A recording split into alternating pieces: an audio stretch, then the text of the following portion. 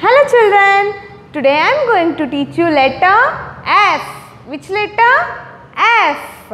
Come, let's we will see how to write letter F. One standing line, one sleeping line and two sleeping line. Which letter is this? Letter F. Which letter? F. One standing line, one sleeping line and two sleeping line. Which letter is this? F. All of you have enjoyed the letter F? Yes? Okay. Bye.